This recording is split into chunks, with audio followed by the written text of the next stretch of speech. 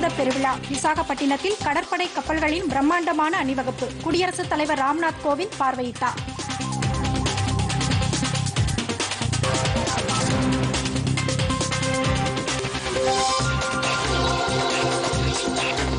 சர்வதேச தாய்மொழி தினம்.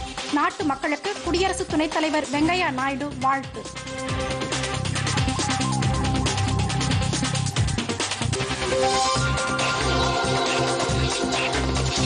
பள்ளி கல்வி குழந்தைகளின் மனவளத்தை பெருக்கும். கல்வித்துறையில் மத்திய பட்ஜெட்டின் தாக்கம் என்பது குறித்து கருத்தரங்கில் பிரதமர் நரேந்திர மோடி உரை.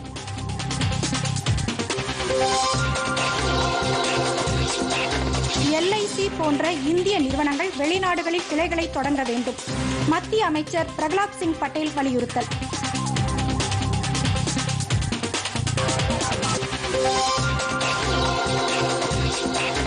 நகர்ப்புற உள்ளாட்சி தேர்தல் நாளை வாக்கு எண்ணிக்கை. தேர்தல் அதிகாரிகளுடன் மாநில தேர்தல் ஆணையர் ஆலோசனை.